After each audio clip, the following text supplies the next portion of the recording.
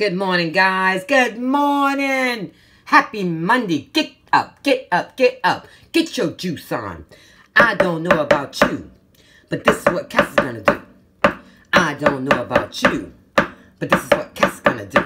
Hey, guys, I am making my green juice. Because you know why, guys? Let me tell you why. I don't know about you, but this is what Cass is gonna do. Guys, I'm going to do a little detox before the Thanksgiving fiesta.